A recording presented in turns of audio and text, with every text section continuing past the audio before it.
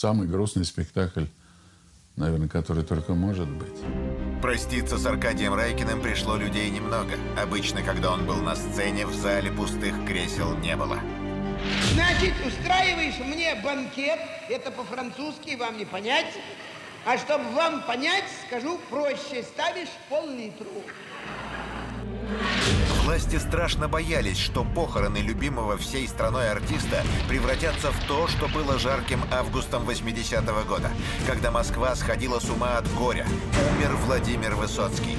И на улице вышла многотысячная толпа людей, которые считали, что в его смерти виновато государство. Лозунг звучал так. Лучше, лучше перебдеть, чем недобдеть.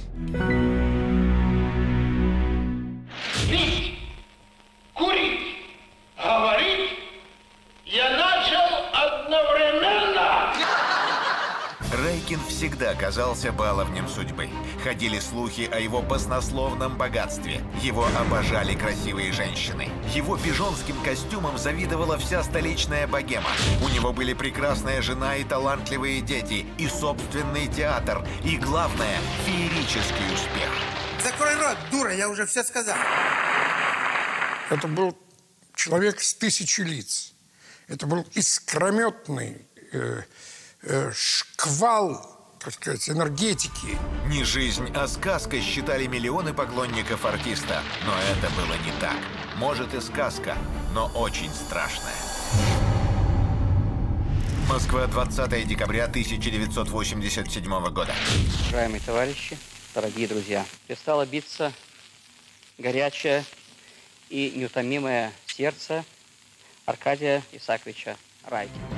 Прощение с народным артистом СССР Аркадием Райкиным состоялось в театре «Сатирикон» на четвертый день после его кончины.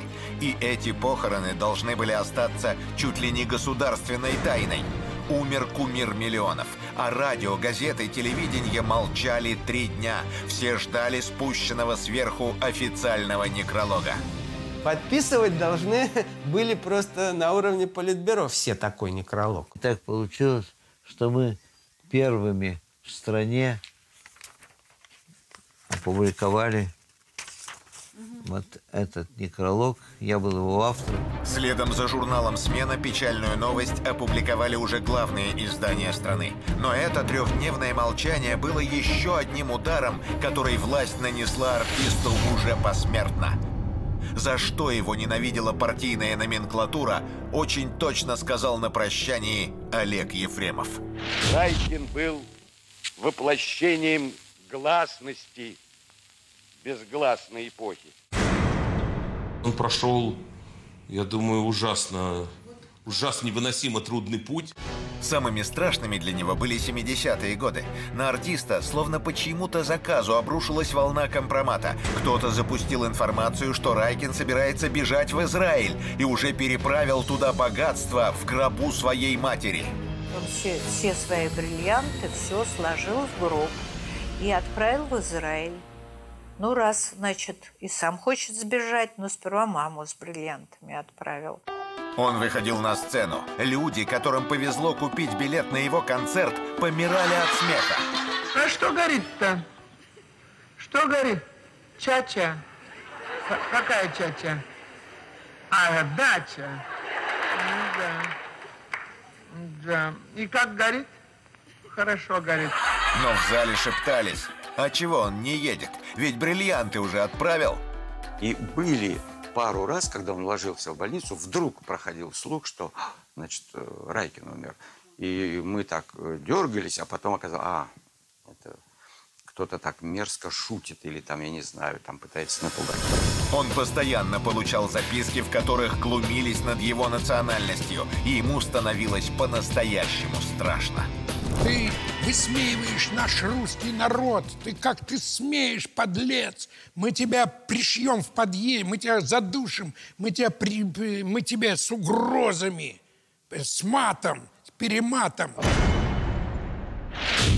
Аркадий Райкин родился в 1911 году, и на самом деле его звали Арон Вейл. Аркадием он стал, чтобы зрителю было легче запомнить его имя. У мальчика были явные артистические способности, богатая фантазия, он бегал в драм-кружки и на спектакли. Но когда отец увидел, что Аркаша перед зеркалом изображает клоуна, то дал ему ремня и закричал «Еврей клоуном? Никогда!» Отец его колотил. Да. Он говорит, отец меня воспитывал, воспитывал, я все равно клоуном пошел работать. То, что Райкин прожил долгую жизнь, можно назвать, конечно, чудом. Это был глубоко больной человек, который мог умереть в любую минуту. Когда ему было 13, он катался на коньках и подхватил тяжелую ангину. Болезнь дала осложнение на сердце. Год подросток пролежал без движения. Врачи поставили диагноз тромбоз. Просто сердце останавливалось, и так, в общем, лечили, и сил не было никаких. И даже когда пошел на поправку, как он сам пишет в воспоминаниях своих, то отец его просто на закорках э, выносил во двор, и постепенно вот он э, пришел в себя. Но куда с больным сердцем в артисты? Но остановить его было невозможно. Пережив не один тяжелый разговор с отцом, он ушел из дома и поступил в Ленинградский театральный институт. Райкин всегда был невероятно элегантным человеком с прекрасными манерами. Все считали, что он голубых кровей. И когда он перевоплотился в этого персонажа, все говорили «Вот это артист! Так гениально сыграть человека, который явно сидел в тюряге». Всех перережу! Всех перережу! Кого перережет, кого и чем? А Райкин знал таких людей очень близко. Всю жизнь он скрывал, что и сам сидел в тюрьме. Ему было 18 лет, и в Бутырке он провел 11 месяцев. У него не было денег на билеты в театр, и они с приятелями подделывали контрамарки. И однажды Райкин попался. Он попал случайно на партийный концерт, на который все, всех впускали, но никого не выпускали. И когда, значит, где билет? А ничего нет. Москва, 20 декабря 1987 года. Гроб стоял на сцене театра «Сатирикон» среди декораций последнего спектакля Аркадия Райкина «Мир дому твоему». Здоров, как бык, здоров, как бык. Потом вдруг бац, и трое телят без отца. Декорация этого спектакля воспроизводила обстановку его московской квартиры. Стол, антикварный буфет, кресло, зеркало. Мимо сцены шли и шли заплаканные люди. И вот в этой тишине совершенно такой звенящий этих многих людей такой стоял стон в зале. Стон такой вот. Просто плач? не плач, а вот такой какой-то вот такой стон. Он смеялся над дурными правилами советской жизни, когда костюм кривой и спросить за это некого. Области претензий есть? Я говорю, нет. Над дефицитом, который управлял жизнью миллионов граждан. Через директор магазин, через товаровед достал дефицит. Высмеивал глупых чиновников, показывал истинное лицо большинства советских трудящихся. Ведь пили в эпоху застоя страшно. На часах уже три, а я еще ни в одном глазу. Людям хотелось как-то отвлечься, развлечься. И вместе с тем Райкин, конечно же, заставлял думать. Сатира должна заставлять думать. И власти боялись, что похороны Райкина соберут огромную толпу народа, с которой не сможет справиться милиция. И на прощании люди с ужасом замечали, что в Сатириконе всюду вертятся товарищи в штатском, и по рации передают наверх речи выступавших и комментируют происходящее. Аркадий Райкин – это народный герой. Это если бы каким-то образом это не поджимали, то это было бы как похороны Высоцкого, Миронова.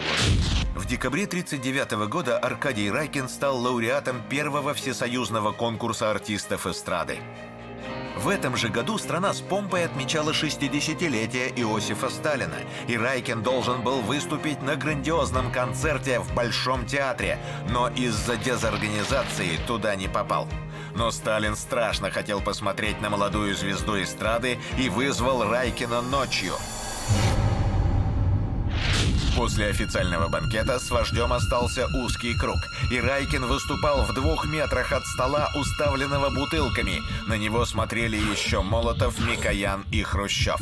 Практически а, это был для него фатальная встреча. Это был самый высокий худсовет для него. Всю свою жизнь Райкин мастерски использовал на сцене резиновые маски, очень быстрым движением снимая одну и надевая другую, и моментально перевоплощаясь в другого персонажа.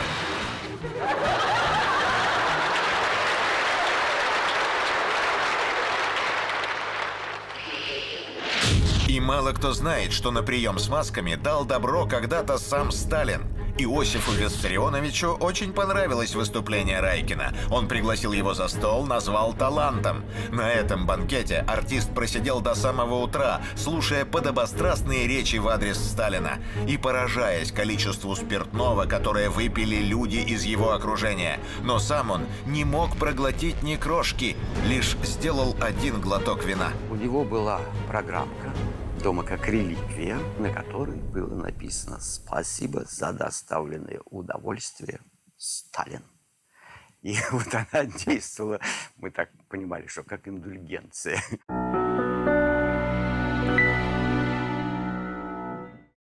У Райкина была очень интересная прическа. Темные волнистые волосы и одна седая прядь. Она привлекала и волновала публику, заставляя думать, что за ранней сединой артиста скрывается какая-то личная драма. В греческом зале, в греческом зале. Ах, Аполлон, ах, Аполлон. Я говорю, да, я Аполлон. И никто не знал, что на самом деле у артиста были крашеные волосы, и голова его была седой абсолютно вся. И посидел он, когда ему было всего 26. В 1937 году у него снова случился тяжелейший приступ ревмокардита. И он загремел в больницу в состоянии между жизнью и смертью. Вся жизнь, все планы, все надежды, все мечты были перечеркнуты вот этой э, болезнью. А когда он ненадолго пришел в себя, то услышал, как врач говорит медсестре, что этот не жилец и ночью скончается. И принял решение ни в коем случае не спать, чтобы смерть не пришла за ним во сне. А утром медсестра увидела, что Райкин жив, но у него за одну ночь стали седыми волосы. После больницы он стал их красить и часто был похож на кису Воробьянинова. Краски были тогда плохими. Но со временем нашел своего мастера, который содержал в идеальном состоянии его шевелюру и посоветовал оставить впереди одну прядь незакрашенной. Москва, 20 декабря 1987 года. О смерти Аркадия Райкина людям не говорили три дня. Власти хотели, чтобы похороны прошли как можно тише. Пришли лишь близкие, друзья, коллеги и жители окрестных домов, случайно узнавшие о том, что случилось. У людей, у всех, которых я видел, которые шли бесконечно, стали слезы в глазах. У гроба стоял сын артиста, но не было дочери и жены Аркадия Райкина. Не сказали. Она же была дико больна и боялись, что она не выдержит. Дочь артиста Екатерина не смогла оставить маму и поехать на похороны. И сидела с ней рядом, собрав последние силы для того, чтобы на ее глазах не плакать. И счастлив лишь тот, ком сердце твое, кто рядом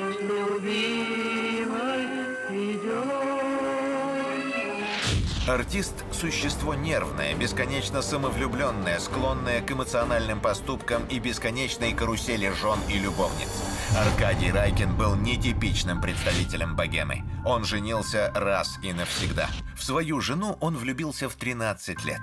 Красивую девочку звали Руфь Иоффе. Она была внучкой великого физика, и в семье ее звали Рома. Отметил для себя эту девочку, красивую, в красном берете, тем более так необычно, в берете дырочка, и черные волосы пропущены через эту дырочку. Ну как не оценить такую изюминку? В следующий раз они встретились в буфете театрального института. Райкин пригласил Рому в кино и долго ухаживать не стал. И буквально сеанс закончился, и он предложил руку и сердце. Она была очень красивая, раз. Она была очень умной, она была очень талантливой писательницей, между прочим. И очень хорошим человеком, справедливым. После свадьбы они стали жить с родителями Ромы. Но отношения Райкина с новой родней были натянутыми, особенно с тещей. Чопорные родители Ромы считали брак дочки мезальянсом, и Райкин был счастлив, когда ему дали комнату в коммуналке, и он простился с этим домом.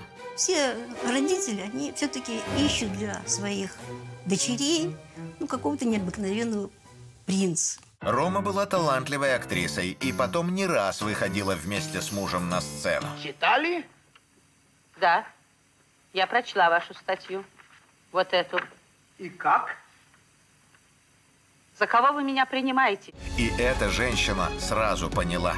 Она не должна играть с Райкиным вместе, а всего лишь подыгрывать. Звезда — это он. Очень умная женщина. Умнее Аркадия. Да. И всю политику вокруг него создавала она. Вы пробовали когда-нибудь зашвырнуть комара? Далеко-далеко. Он не летит. Михаил Жванецкий. Абсолютная звезда советской и современной эстрады. Бесподобный Роман Карцев и Виктор Ильченко. Я врач. Очень хорошо. Я тоже охранник, я знаю, что такое БХС. Эти замечательные артисты начали свой путь на большой сцене благодаря Аркадию Райкину, были очень ему благодарны и очень на него обижены. Он был э, типичным диктатором театре, типичным, классическим, авторитарнейшим правителем. Жванецкий, Карцев и Ильченко жили и работали в Одессе. Там их и приметил Райкин. Пригласил в Ленинградский театр миниатюр, и талантливая троица была просто счастлива. Райкин выбил им в Ленинграде квартиры, и первое время их сотрудничество было очень плодотворным. Михаил Жванецкий сочинил для театра новую программу. Жванецкий написал для Райкина несколько миниатюр, которые стали хитами, с которыми мастер выходил на сцену потом долгие годы. В греческом зале, в греческом... Я говорю, тебе штопор есть в греческом зале? Эти фразочки пошли в народ и вызывают приступы смеха спустя полвека. Я попробовал. Во рту тает. Вкус. Специфический. Специфический. И Райкин считал, что со временем Жванецкого стала мучить ревность. Наступил момент, когда подобное положение Жванецкому показалось обидным. Входя в троллейбус и слыша какие-нибудь реплики собственного сочинения, ему подчас хотелось обратить внимание пассажиров на то, что автор-то вот он. Но Райкин был еще ревнивее Жванецкого. Он не позволял Жванецкому работать где-то еще и строго следил за своей монополией на эти шутки. Если он выступал, Жванецкий, на площадках других, то Райкин этого не переносил. Он не мог позволить, чтобы его репризы, его остроты кто-то другой исполнял на публике. Страшно завидовал он успеху и Карцева с Ильченко. Как ваша фамилия? Горидзе. Зовут вас как? А вас? Меня Николай Степанович, а вас? А вас? Николай Степанович, а вас? А вас? Николай Степанович, а вас? И когда на спектакле он увидел и услышал за кулисами этот бешеный, неприличный успех Карцева и Ильченко с миниатюрой о вас, то, естественно, поступила команда немедленно ввести Аркадия Исаковича в этот номер. Николай Степанович, э? а тот говорит, а вас как зовут? Во главе стоял абсолютно гениальный великий игрок, и все ему подавали мячи, потому что он был кровопийца и тиран, как художественный руководитель. Он не терпел, если кто-то играл и кто-то забивал, то есть играть играй, но не забивай. В итоге пригретые Райкиным одесситы окрепли и посчитали, что больше не могут выносить тирана. Их развод обсуждала вся театральная общественность. Исаакович, а что там?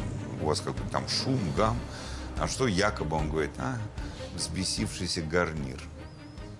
Сказал, вот это шутка, но э, я не вижу в этом ничего такого предосудительного, потому что э, а кто? Ну а кто мы еще были, как не гарнир к Аркадию Райкину? Со стороны казалось, что дальше каждый из них пошел без потерь и с удвоенной энергией для шуток. А борьба за качество? Кому объяснить, что нельзя сначала производить продукт, а потом начать бороться за его качество? Но Жванецкий очень тяжело переживал расставание с мэтром. Сам расскажу. Я, я практически ушел в запой. Я не знал, что жизнь закончилась. Аркадий Райкин, несмотря на деспотичность, которую он проявлял в своем театре, был человеком чрезвычайно тонкой душевной организации. И этот конфликт нанес еще один удар по его больному сердцу. У него не было вот этой защиты, э, циничной, холодной защиты, э, которой многие обладают.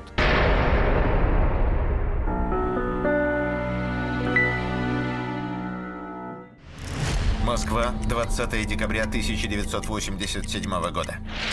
Все, кто пришли проститься с Аркадием Райкиным, увидели, как всегда, необыкновенно элегантного мужчину в идеальном костюме. Меня поразила немыслимая его красота. Немыслимая красота. Можно сказать, что Райкин был самым хорошо одетым человеком в Советском Союзе. О его костюмах слагали легенды. Говорили, что их шьет сам Ив Сен-Лоран, и каждый стоит зарплату советского инженера. У него всегда были какие-то невероятные, тоже какие-то инопланетные костюмы. У него был портной в Риге знаменитый, который знал уже все его размеры. Всю свою жизнь он был женат на одной женщине и очень любил ее. Но так могли относиться друг к другу любящие брат и сестра. У них, понимаете, у меня такое ощущение, что у них любовь как-то быстро переросла в дружбу. И были, э, судя по всему, сложные ситуации вот, с его увлечениями, э, которые героически преодолевала его супруга.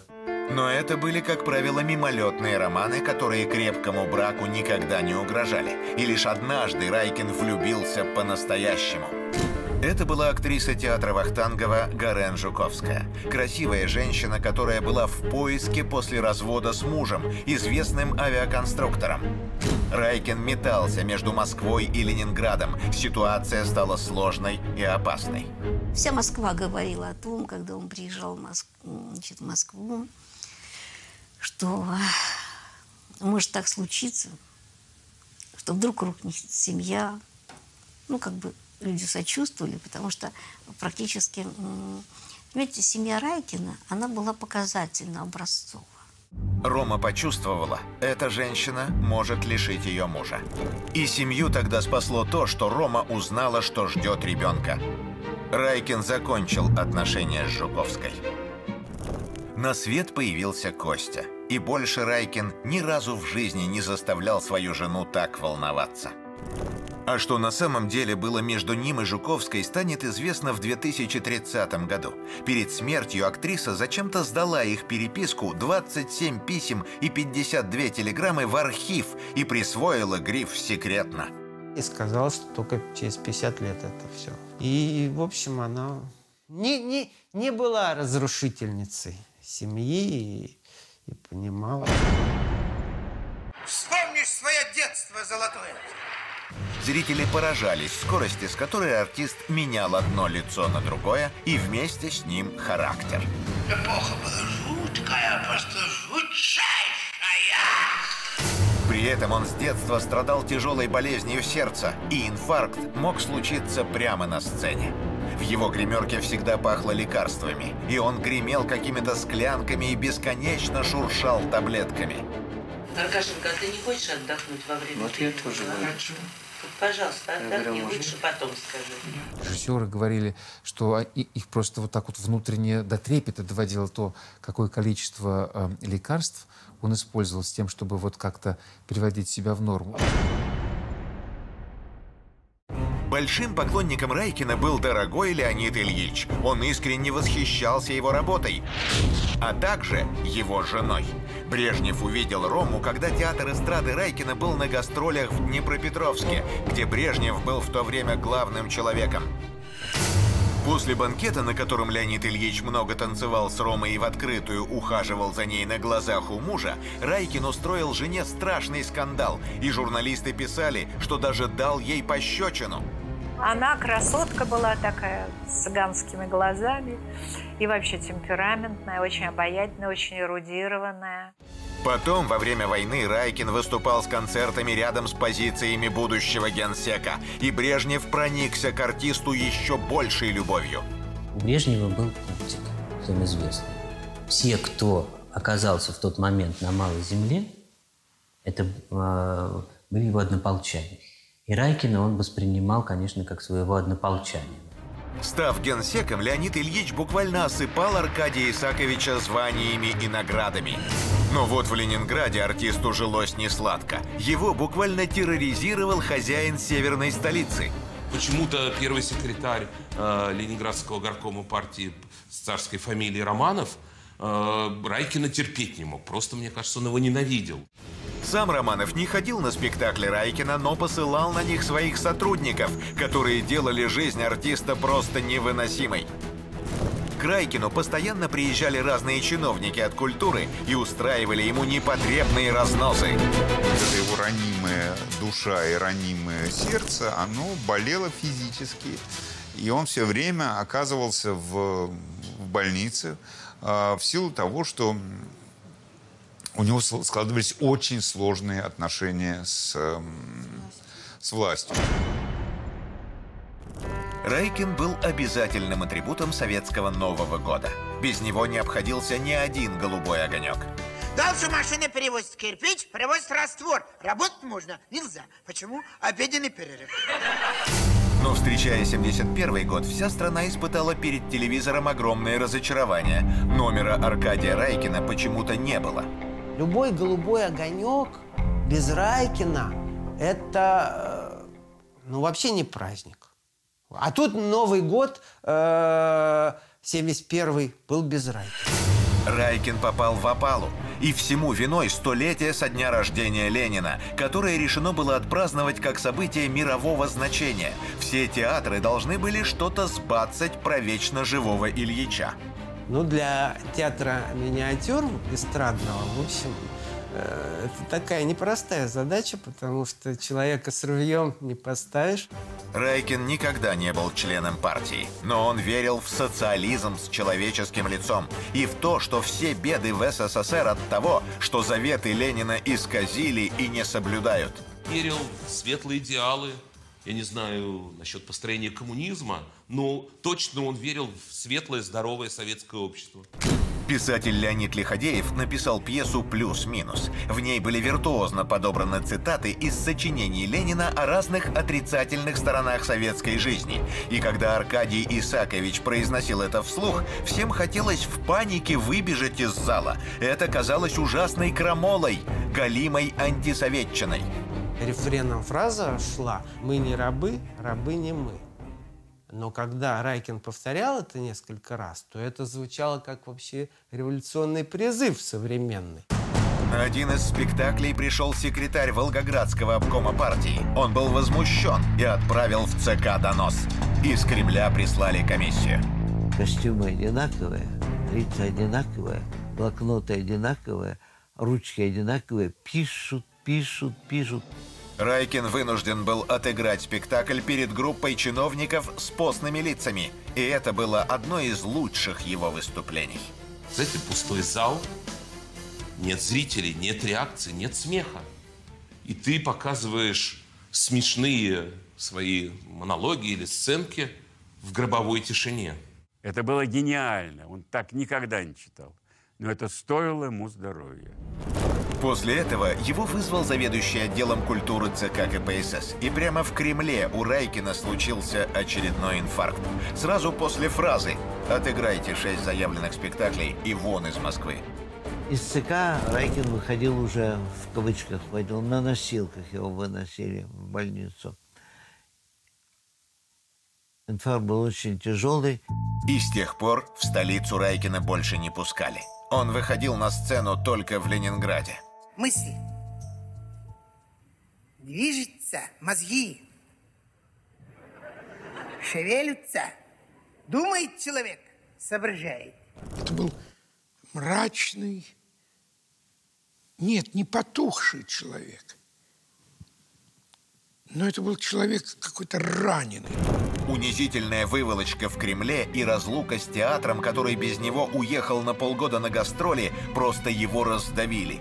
И сильнее боли в сердце была боль душевная. Эти твари грозили закрыть театр. Театр целый год работал без него. Потому что его, его не могли, как говорится, привести в нормальное состояние. Рядом всегда была любимая жена. И Рома переживала не меньше мужа, но старалась держаться и говорила ему, что все пройдет и будет ими забыто.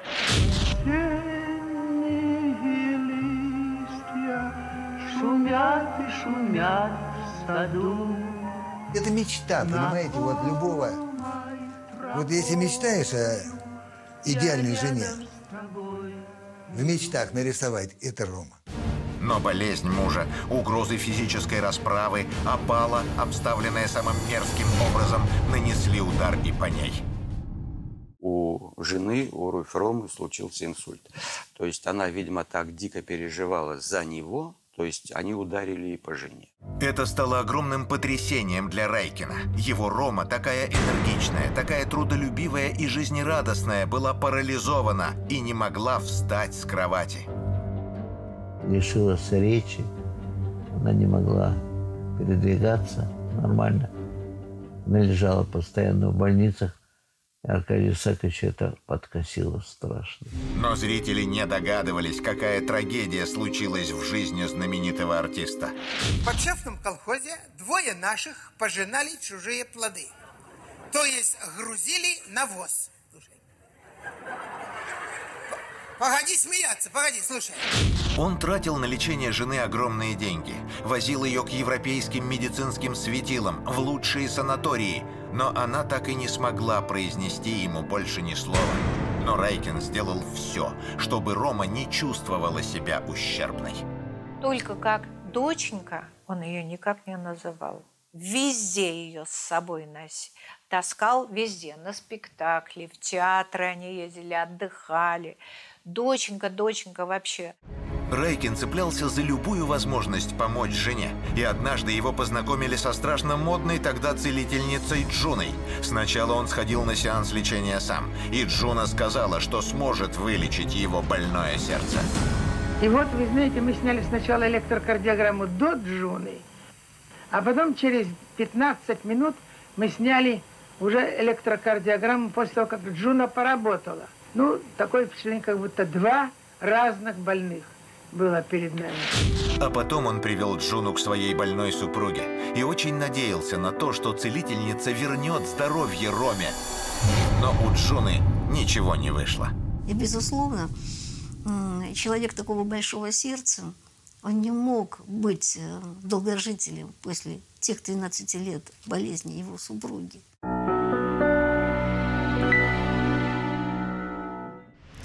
Москва, 20 декабря 1987 года.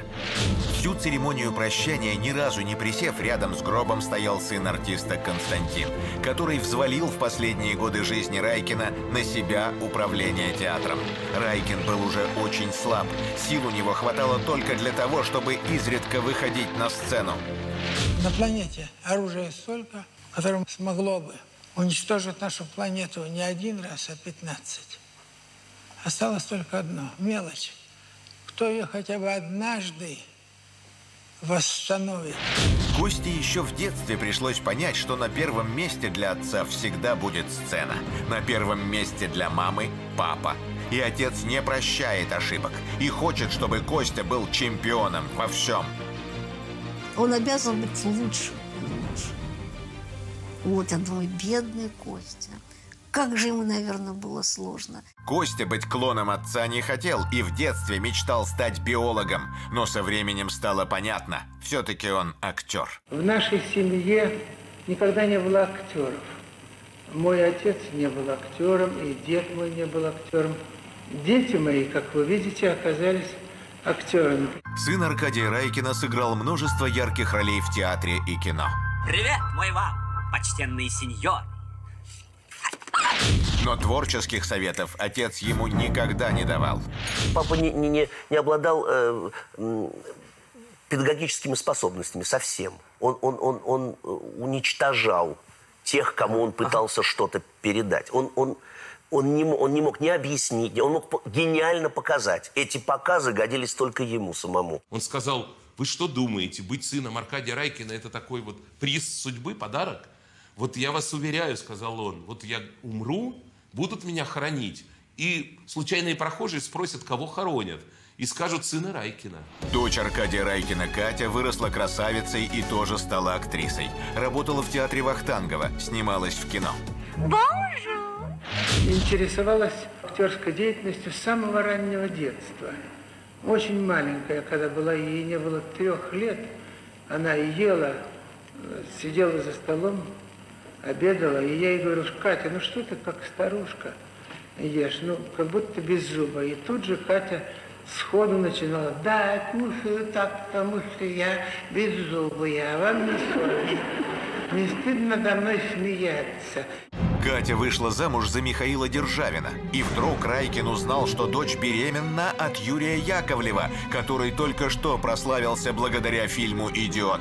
При этом он был женат, и его супруга тоже ждала ребенка. У Райкина чуть снова не случился инфаркт. Он был возмущен поведением артиста. Но Катя его не послушала. Бросила Державина, вышла замуж за Яковлева. Но в итоге тот оставил ее с маленьким ребенком на руках. И ее спасла депрессии только поддержка папы. Катю он обожал. Он всегда обвинял во всем, всегда только мужчин. Он считал, что женщины такие небесные, понимаете, вот волшебные феи. Нужно их оберегать и нужно, конечно, делать все возможное, чтобы они были счастливы. В конце 70-х Райкин понял, что уже не может оставаться в любимом Ленинграде. Больше не было сил. Романов его выдавил из города. Не давал ему работать. То есть э, как раз Райкин уехал. Ведь Райкин 60 лет прожил в Петербурге, в Ленинграде. 60. Он уехал, только он не хотел уезжать. Во время очередного визита в Москву он попал в ЦКБ. И как-то в коридоре услышал разговор двух явно крупных чиновников, которые собирались в гости к Брежневу, и попросил их «возьмите меня с собой». Генсек был его старым фанатом, и Райкин подумал, что это последний шанс вырваться из лап Романова и начать нормальную жизнь. За ними прислали правительственный членовоз, и троица заявилась к Брежневу прямо в больничных пижамах. И генсек был вне себя от радости. Подумать только, сам Райкин. Вообще Брежнев, э, фигура Брежнева – это такая спасительная фигура в каком-то смысле для Райкина. Райкин дал на дому у Брежнева блестящий концерт. И генсек прямо в присутствии артиста снял трубку и позвонил Виктору Гришину. Тут у меня Райкин просится в Москву. Я за. Ты тоже. И вскоре артист получил квартиру в столице и из Ленинграда уехал. Брежнев обещал дать Райкину театр, но дело застопорилось, а в 82-м генсека не стало. И в итоге Райкин получил заброшенный кинотеатр «Таджикистан», когда сил на строительство театра у него почти не осталось. Он выходит, и вот уже вот тихий, слабый голос с микрофоном, и чуть-чуть, так и чуть даже вот рука, так мне казалось. Для меня это был шок. Но несмотря на плачевное состояние, он согласился летом 87 года отправиться в длительный тур по Соединенным Штатам.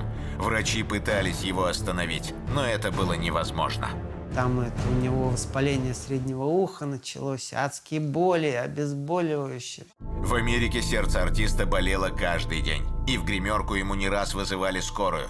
Но по возвращении в Москву он долго отказывался лечь в больницу и продолжал выходить на сцену. У меня товарищ один сегодня есть в театре при входе. Такое намолчал.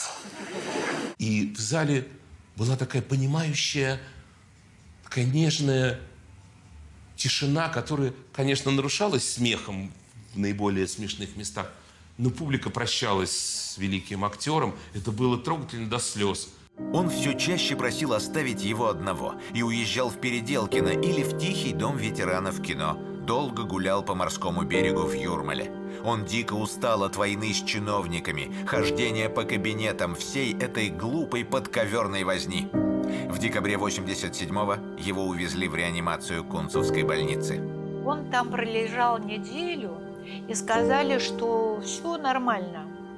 И что и, и даже он, по-моему, какой-то субботу-воскресенье приходил домой. Он увидел любимую Рому и успел с ней попрощаться.